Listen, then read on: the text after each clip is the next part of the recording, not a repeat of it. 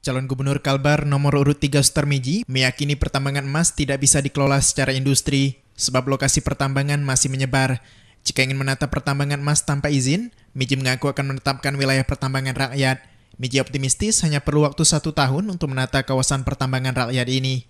Jika tertata, maka masyarakat dapat memperoleh pendapatan dan tidak terjadi gesekan yang dapat merugikan semua pihak. Saya sudah berkali-kali menyampaikan bahwa solusi yang terbaik adalah segera menetapkan wilayah pertambangan rakyat agar antara uh, kasihan juga ke kepolisian ya dia harus menegakkan aturan satu sisi kemudian sisi lain masyarakat perlu uh, apa kehidupan ya biaya hidup.